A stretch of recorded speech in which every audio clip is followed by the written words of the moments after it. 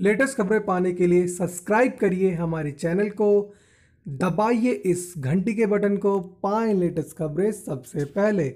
अगर नरेंद्र मोदी की जगह ये होते पीएम तो पाकिस्तान साफ़ हो चुका होता। नमस्कार दोस्तों, आज पीएम नरेंद्र मोदी की वजह से भारत का नाम दुनिया भर में काफ़ी मशहूर हो चुका है। नरेंद्र मोदी ने बड़े बड़े देशों के साथ काफ़ी अच्छे संबंध बना लिए हैं। पीएम मोदी की लोकप्रियता सिर्फ़ में भारत के ही नहीं, बल्कि आज पूरी दुनिया में है। दोस्तों, पीएम नरेंद्र मोदी की जगह अगर योगी आदित्यनाथ पीएम होते तो शायद जो मोदी जी ने कर दिखाया वो भला ही नहीं कर पाते, लेकिन पाकिस्तान जैसे दुश्मन देश आँख उठाकर भी भारत की तरफ़ नहीं देखते।